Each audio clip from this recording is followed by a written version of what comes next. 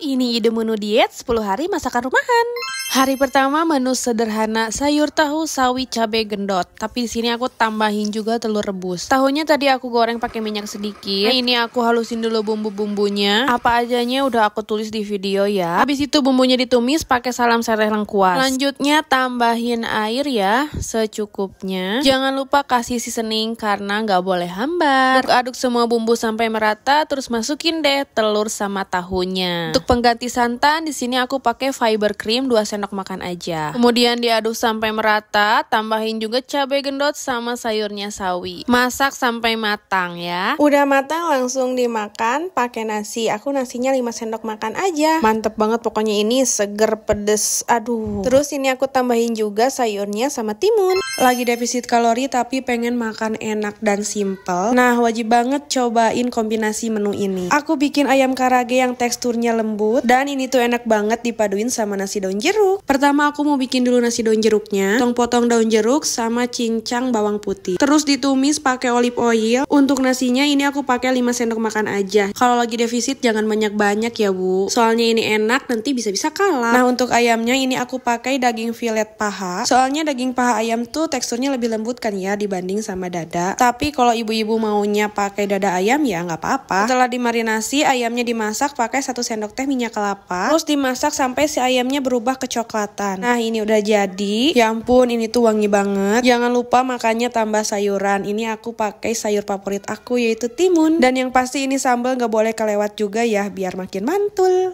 Bu ibu wajib banget masukin menu ini ke dalam list menu akhir bulan. Ya ini tuh tahu siksa alias tahu bejek cuman dibumbuin kayak sambal gitu terus ditambahin sayuran juga. Enak, murah dan pasti sehat. Nah ini aku cuman pakai dua tahu aja beratnya sekitar 160 gram. Diancurin terus ditambahin tambahin telur. Aduk sampai merata. Next ini aku mau bikin bumbu halusnya. Aku pakai cabai keriting biar gak pedes. Terus ditumis pakai satu sendok teh minyak kelapa. Terus masukin deh campuran tahu telur tadi. Terus aduk-aduk. Jangan lupa tambahin juga seasoningnya, garam, merica, sama gula diet. Jangan lupa koreksi rasa juga. Lanjutnya ini aku tambahin sawi. Biar udah sekalian ada sayurannya dalam satu menu gitu. Hmm ini tuh masya Allah wangi banget. Satu resep yang aku buat itu bisa untuk dua kali makan ya. Seperti biasa si timun jangan sampai lupa. Mantap banget, yuk bikin juga. Ini tuh salah satu menu yang gak akan bosen aku rikuk berulang kali. Soalnya bumbu cili padi tuh ya enak banget. Kalau biasanya ayamnya digoreng, kali ini ayamnya tuh direbus, terus disuir-suir deh. Ini yang bikin bumbunya lebih meresap ke si ayamnya. Untuk bumbu halusnya seperti biasa, bawang merah, bawang putih, cabai rawitnya sedikit aja, cabai keriting juga sedikit biar gak terlalu pedes. Next, bumbu halusnya mau ditumis pakai sedikit minyak kelapa yang dispray aja. Terus tambahin sedikit air, jangan lupa tambahin juga juga seasoningnya, garam, merica, gula merah, sama asam jawa. Asamnya aku lebih suka ikut dimasukin juga, jadi nggak cuman airnya doang. Terus masukin deh ayam suwir tadi. Aduk-aduk sampai merata, sampai bumbunya meresap. Seperti biasa kalau aku makannya sama timun. Yuk bikin juga. Ternyata menu ini tuh enak banget bu ibu. Sering lewat di beranda, tapi baru kali ini aku bikin. Yuk kita bikin ayam kukus terus dikasih irisan cabai dan bawang. Aku pakai dua paha ayam, terus aku kasih garam, merica, perasan lemon sama saus tiram. Lumuri sampai merata. Di atasnya aku kasih irisan bawang putih sama irisan jahe. Selanjutnya ini ayamnya mau aku kukus selama 20 menit. Setelah matang ayamnya disuirin, kulit dan tulangnya dibuang ya. Terus ini aku mau iris dulu bawang daun, cabai merah dan cabai hijau, pakainya cabai keriting biar nggak pedes. Cincang juga bawang putih. Terus mau aku tumis pakai satu sendok teh minyak zaitun. Tumis sebentar lalu masukin deh sisa kaldu dari kukusan ayam tadi. Aku tambahin saus tiram dan gula diet juga. Udah mateng tuangin ke ayam suirnya. Dan jadi deh. Bosen masak telur cuma digitu-gitu aja aja, cobain deh dibikin kayak gini. Biasanya bikin ayam suwir kemangi pedas. Nah, kalau ini versi low budget. Jadi telur kemangi pedas. Asli ini tuh enak banget. Pertama halusin dulu bumbunya, bawang merah, bawang putih, cabai rawit sama cabai keriting. Terus setelah itu ditumis pakai satu sendok teh olive oil. Tumis sampai wangi, biar nggak gosong, tambahin air. Tambahin airnya sedikit-sedikit aja secara bertahap. Masukin seasoningnya, garam, kunyit, merica, saus tiram sama gula diet sedikit aja. Aduk-aduk sampai tercampur, baru setelah itu tambahin deh daun kemangi Banyaknya sesuai kesukaan aja ya, mau banyak mau sedikit itu bebas. Terus langsung ceplokin deh dua butir telur. Terus boleh ditutup ya biar si telurnya tuh matang merata. Dan ini udah jadi, aku pengen si telurnya masih agak nyoy-nyoy. Ini tuh aromanya wangi banget. Pokoknya ibu-ibu wajib banget rikuk ini.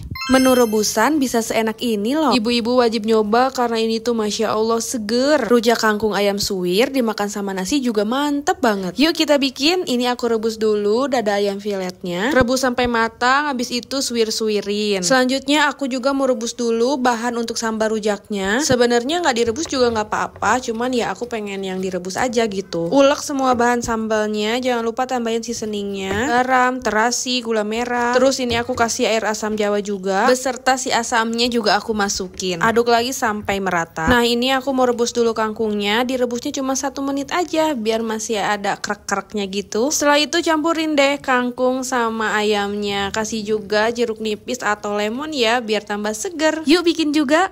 Kata suamiku ini tuh kayak ketoprak. Padahal ini tuh cuma tahu sama telur Tambahin sayuran Terus kasih bumbu kacang. Nah ini aku pakai tahu kuning Bagusnya sih pakai tahu putih sutra ya. Tahunya digoreng pakai sedikit olive oil aja. Terus ini aku mau kocok dulu dua butir telur Tambahin garam sama merica. Setelah itu telurnya dituang ke tahu yang ada di pan. Jangan lupa dibalik dan masak sampai matang. Next aku mau sangrai dulu bumbu kacangnya. Karena nasi kacang ini tinggi kalori kan Jadi aku cuma pakai 15 gram aja. Setelah matang bumbu kacang kacangnya tuh diulek, kasih garam sama gula merah ya. Terus tambahin juga air sedikit demi sedikit. Sesuaikan sama keinginan masing-masing untuk kekentalannya. Terus ini aku kasih sedikit air asam jawa. Aku juga ini rebus toge sebentar aja. Nah, lalu tata toge sama timun di atas si tahu telur tadi. Tambahin bumbu kacang dan sedikit kecap. Dimakan tanpa nasi pun udah ngenyangin banget loh. Kali ini aku mau makan siang enak tanpa nasi ala restoran. Bikin stick ayamnya cuman pakai satu bumbu loh. Ini aku pakai dada ayam digep geprek-geprek dulu. Nah, satu bumbu yang aku pakai itu ini nih, dry rub dari Mix Mix. Jadi dry rub tuh campuran rempah-rempah premium yang udah diracik. Kita nggak perlu lagi nambah gula garam. Soalnya rasanya tuh udah enak, gurih meskipun tanpa MSG. Udah gitu dia tuh rendah lemak dan pasti rendah kalori. Mix Mix ini bumbu dry rub yang pertama kali aku coba. Dia tuh pelopor bumbu dry rub di Indonesia loh. Semua produknya udah halal dan udah bersertifikat PIRT jadi aman untuk dikonsumsi. Next, ini aku mau rebus dulu kentang, wortel sama buncis. Nah setelah matang si kentangnya tuh diancurin pakai saringan gini biar teksturnya tuh lembut. Terus tambahin sedikit garam. Aduk-aduk dan jadi deh mashed potato simple. Next aku mau panggang ayamnya pakai sedikit olive oil. Panggang sampai matang jangan lupa dibolak-balik ya. Habis itu tinggal tata di piring. Ternyata bikin makanan enak dan sehat bisa sesimpel ini. Yuk cobain. Bu ibu wajib banget nyoba segernya saus lemon dipaduin sama dada ayam. Terus ada manis-manisnya dari madu. Ini tuh mantep banget. Pertama dada ayamnya dipotong potong-potong. Terus kasih bumbu marinasi yang udah aku tulis di video ya. Aduk-aduk sampai merata, habis itu di pan. Terus dimasak sampai berwarna kecoklatan. Habis itu disisihkan dulu ya. Next, ini aku mau bikin saus lemonnya dulu. Aku pakai sari lemon, madu, maizena sama air secukupnya. Habis itu diaduk-aduk sampai merata ya. Kemudian tumis dulu bawang putih cincang dengan satu sendok teh olive oil. Masukin deh si saus lemon yang tadi. Lalu masukin deh dada ayam yang udah dipanggang tadi. Aduk-aduk ini aku tambahin cabai keriting sama daun bawang. Terus aku tambahin juga irisan lemon. Ini udah jadi, rasanya seger banget loh.